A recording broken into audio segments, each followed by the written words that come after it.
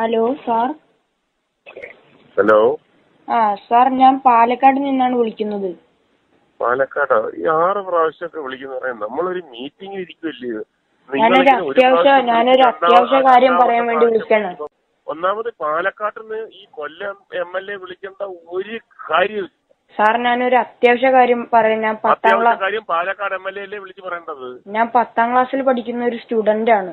അതെ സ്റ്റുഡന്റ് ആണെങ്കിൽ എന്താണെങ്കിലും പാലക്കാട് എം എൽ എ എന്ന് പറഞ്ഞ ഒരാൾ ജീവനോടെ ഇല്ലേ? സാർ എനിക്ക് സാറ് നമ്പർ ഒരു കൂട്ടുകാരൻ തന്നപ്പോ ഞാൻ വിളിച്ചു കൂട്ടുകാരൻ എന്ന് പറഞ്ഞാൽ അവന്റെ ചെവി കുറ്റുനോക്കി അടിക്കണം.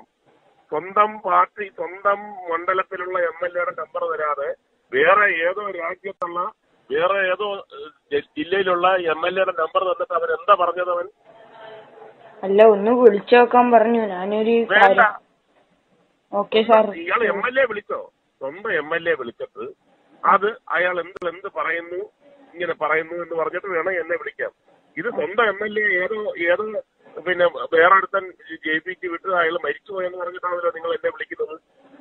ആറ് പ്രാവശ്യം ഞാനിവിടെ ഒരു വലിയ ഇമ്പോർട്ടന്റ് ആയിട്ടുള്ള ഒരു മീറ്റിംഗ് ഇരിക്കുമല്ലേ ഒരു പ്രാവശ്യം വിളിച്ച് രണ്ടു പ്രാവശ്യം വിളിച്ച് ആറ് പ്രാവശ്യം വിളിച്ചിട്ട് ആൾക്കാരെല്ലാരും എന്നെ നോക്കി ചിരിക്കുകയാണല്ലോ എന്താ പിള്ളേർ കളിയാണോ ഇത്?